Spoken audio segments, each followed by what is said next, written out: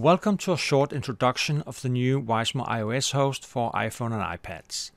With the iOS host, you now have the possibility to share your screen with any WiseMo guest user on Windows, Android, iOS, or one of the supported browsers.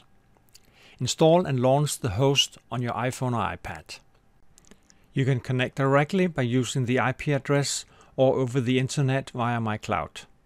I'll quickly configure the host for my clouds so I can connect to it over the internet.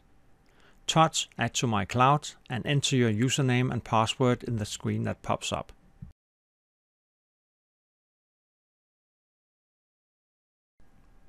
Click the blue Add to my cloud button and click OK.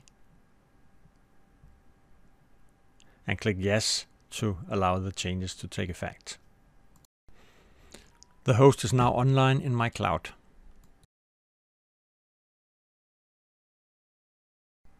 On the Windows computer, wait for the iPhone to come online. Start a remote control session by, for example, double-clicking the phone image. Now I'm connected and the remote user can show me the screen.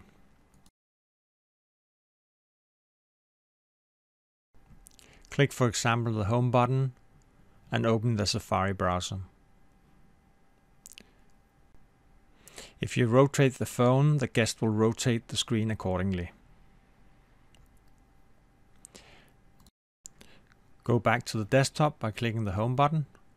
Notice the speed while I swipe the screen back and forth.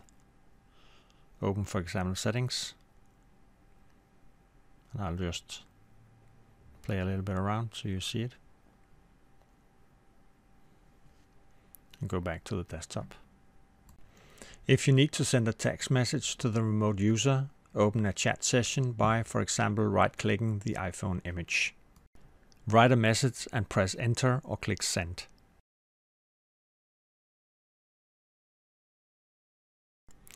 Notice that the remote user can see the messages even when the host isn't in the foreground. If the remote user touches the notification message, the host will enter the foreground and the user can write you a message.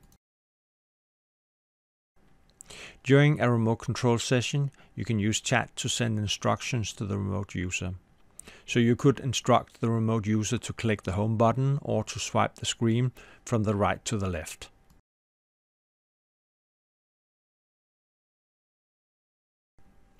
This ends this short video and I suggest you try it out for yourself. Thank you for watching.